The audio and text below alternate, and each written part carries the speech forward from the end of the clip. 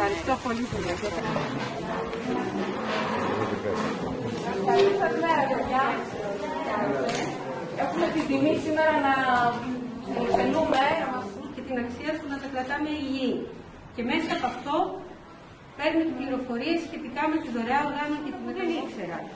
Επίσης, ε, πάρα πολύ γιατί γνωρίζουν για τη δωρεά οργάνων, για τη μεταμόσχευση.